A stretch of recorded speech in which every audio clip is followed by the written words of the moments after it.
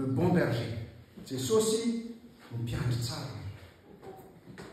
Dans notre euh, évangile du jour, hein, Jean 10, 11 à 18, que nous avons lu tout à l'heure, Jésus s'est attribué le titre de bon berger.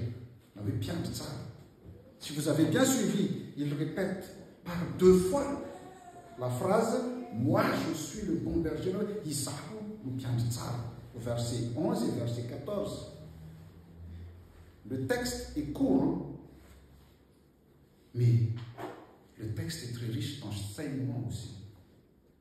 Dans ce texte-là, dans ce court texte, trois thèmes principaux apparaissent dans ce discours de Jésus.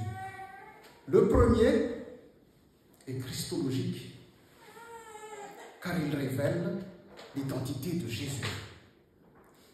Il dit le bon berger. Il dit je suis le bon berger. Dans l'Ancien Testament, le titre de berger était réservé à Dieu. La métaphore euh, du berger et des brebis est fréquente dans la Bible. Hein.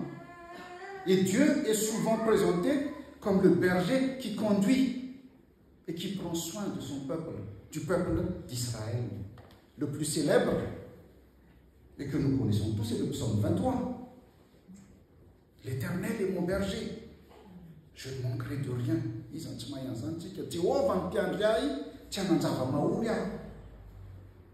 Ici, dans l'évangile, en fait, dans cet évangile, ce discours de Jésus donne un visage à ce berger. Dans Jean 10, il se présente comme le bon berger et la porte de la brebis. Jésus parle à la première personne. Il dit je suis. Il ne dit pas est, il dit je suis. Il engage sa vie pour ses brebis. Contrairement aux salariés ou aux mercenaires, il ne privilégie ni son propre intérêt, ni sa propre sécurité. Ici, l'adjectif euh, bon, l'adjectif bon, traduit le mot grec kalos, qui veut dire aussi honorable, qui veut dire honnête, qui veut dire idéal, qui veut dire digne, excellent. Jésus est tout cela à la fois. Il est la manifestation de ce Dieu d'Israël. Il est la manifestation de ce Dieu adoré par Israël. Il est le Messie. Il est le Fils de Dieu et il est le seul moyen de salut comme Pierre l'annonce dans Acte 4, verset 12. Le salut ne se trouve le salut se trouve uniquement en lui, car nulle part dans le monde il m'a été donné aux êtres humains quelqu'un d'autre par qui nous pourrions être sauvés. ary tsy misy famonjena amin'ny hafa fa tsy misy anarana hafa ambanylanitra no menan'ny olona zay azontsika famonjeny ces paroles de Pierre c'est Pierre qui a dit cela ces paroles de Pierre font écho au deuxième thème principal qui est ecclésiologique. Nos deux textes, hein, Jean 10, l'évangile, Jean 10, 11 et 18, et le acte 4, 8 et 12 ont à peu près le même contexte. Ont à peu près le même contexte. Le discours sur le bon berger de Jésus est une réponse à ce qui s'est passé en Jean 9 où Jésus a guéri un aveugle de naissance le jour du sabbat. Au lieu de susciter la joie, cette guérison a provoqué la colère des responsables religieux de l'époque, les pharisiens qui sont supposés être des bergers d'Israël. En acte 4, notre première lecture, nous retrouvons aussi cette même colère de la part des prêtres de la part des euh, responsables de l'Église de l'époque et de la part des Sadducéens.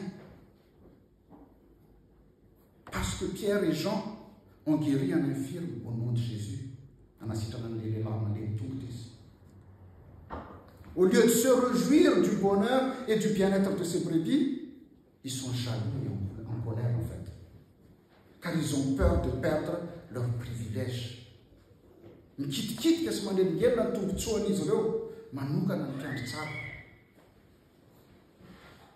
en fait en choisissant le terme bon berger jésus voulait se démarquer des chefs corrompus d'israël le terme bon établit un contraste entre jésus et les bergers mercenaires à Pikaram.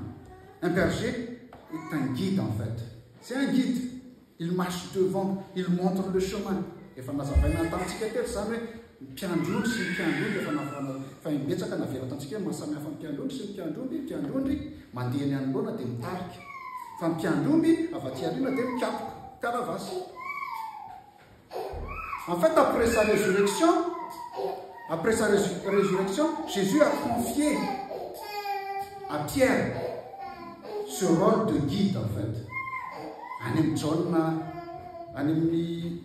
filazantsara ny jauna any a raha matadiditsika fantatritsika rehetra zany Jésus a posé la question à Pierre Pierre m'aimes-tu par trois fois il a posé cette question Pierre m'aimes-tu paie mes brebis petera mo tiava ianao fa hano ary mondroko izy izy fa hano ary cela veut dire quoi cela veut dire que c'est l'église qui doit maintenant prendre soin des brebis c'est l'église qui doit prendre soin des brebis maintenant brebis de Dieu l'église doit faire ce travail par amour et non pour l'argent comme un simple salarié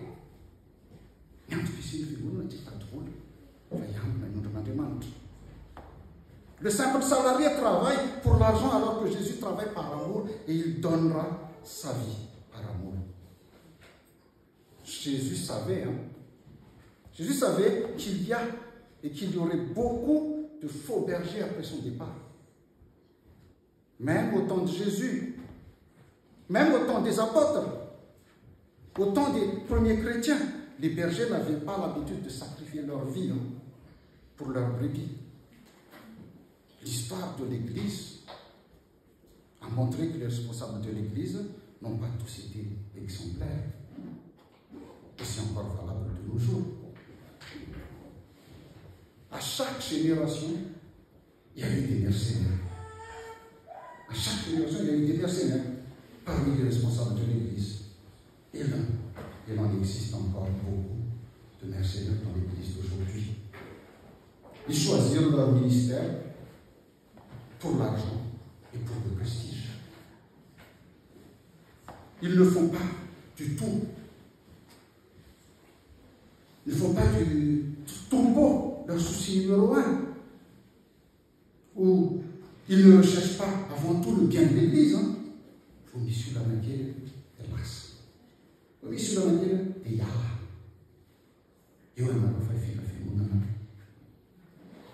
Dès que les tribulations arrivent, ils prennent la poudre d'escampette, comme on dit. La question qui se pose, es-tu un bon berger dans ton église Es-tu un bon berger dans ton église As-tu vraiment le souci des âmes des membres de l'église? Es-tu un bon berger au quotidien de ta vie Dans ton entourage, dans ta famille? En fait, quand je me pose ces questions-là, j'ai peur. J'ai peur quand je me pose ces questions-là, car je sais que je suis loin de tout ça. Mais ce qui me rassure, ce qui me rassure, c'est quoi? C'est que je sais que dans mon entourage, dans ma famille et dans notre Église, il y a des gens qui ont vraiment Christ en eux et ils me ramènent toujours dans le droit chemin. Le chemin qui mène à la vie éternelle, le chemin de la justice, le chemin de la paix. Jésus-Christ, le bon berger, le seul vrai berger qui me connaît personnellement, qui a donné sa vie pour moi, qui m'accepte comme je suis et qui m'aime inconditionnellement. Notre texte, en fait, donne deux raisons qui font de Jésus un bon berger à nul autre. Le premier, il donne sa vie pour ses brebis. Et il connaît chacune, le deuxième, c'est il connaît chacune d'entre elles parfaitement. Et cela nous amène au troisième thème principal, la relation personnelle entre le berger et le brebis. C'est-à-dire entre Jésus et le croyant, entre Jésus et le chrétien. Un croyant qui, tout en ayant une relation personnelle avec Jésus, qu'il connaît aussi personnellement, et que Jésus appelle par son nom, mais qui fait toujours partie et qui a sa place dans une communauté ou une église. En fait, euh, le troisième thème se repose sur la dialectique entre la, relation personnelle avec Jésus et la vie en communauté. Zany hoe razavaina tsotra izy zao manana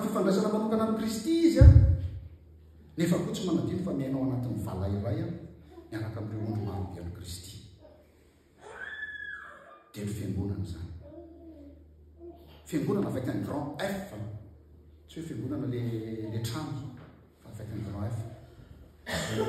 Zany hoe ireo mpino rehetra manerana ny tolo zao misy mantsy ny olona miteny hoe ary matetika ny olona miteny azy zany misy ny olona miteny hoe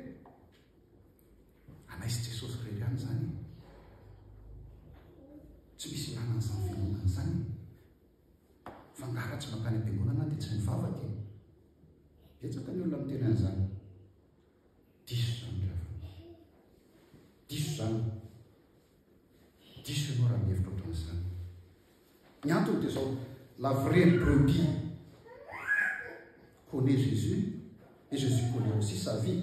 Jésus connaît ses soucis, ses blessures, ses bêtises et Jésus l'accepte tel qu'il est. Mais en même temps, Jésus l'appelle aussi pour entrer dans une communauté où les barrières des frontières, des races, des sexes, des classes sociales sont abolies.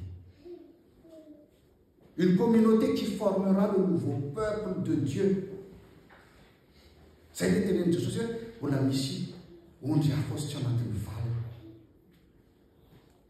chers frères et sœurs ny baiboly sika chers frères et sœurs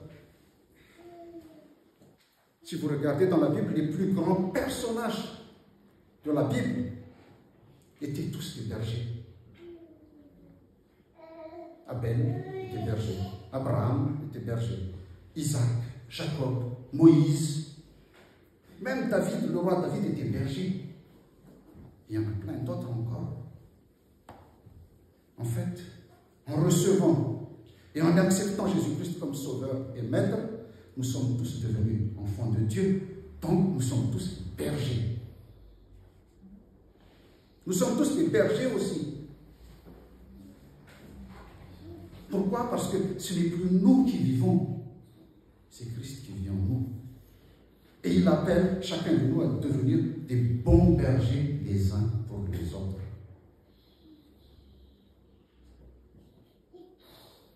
Tena mandeha akaiky ao mpiandrondrika ianao hoe mpiandrondrinao daholo fa mpiandritsika rehetrarehetra mifampiandritsika rehetrarehetra à devenir des bergers les uns pour les autres. Na hoe ondrika ianao aussi on peut le dire comme ça aussi en fait euh, Martin Luther dans son livre de la liberté du chrétien appelle cela devenir Christ pour les autres. Nous sommes tous appelés à devenir Christ pour les autres fiandrotsy zay no natonga ny teny teo hoe diso ianao raha milaza hoe mino a? Nefa miteny hoe tsy ilainy zany makany am-piangonana zany. Ianao miantsoondry hiditra ao anatin'ny vala nefa ianao tsy miditra ao ianao miantsoondry anaraka an' jesosy kristy nefa ianao tsy miditra ao de kely ianao tena dikany hoe fiangonana kely raha izany no izy.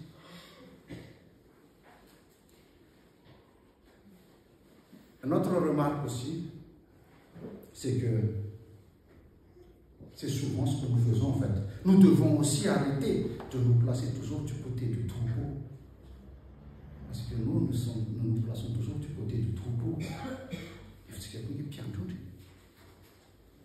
Jésus a dit qu'il a encore d'autres brebis qui ne sont pas dans l'enclos. Alors soyons les instruments du Christ pour les ramener. Soyons les bergers de notre prochain.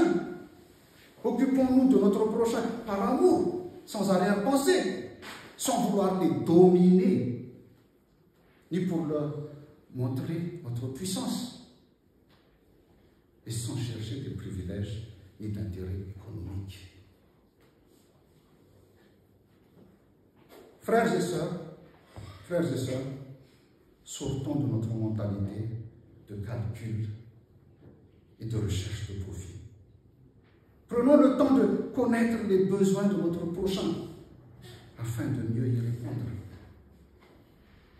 Et prions tous, Seigneur Jésus-Christ, aide-nous à prendre en compte les soucis et les besoins de notre prochain. Aide-nous à être des bons bergers auprès des autres en ton nom et pour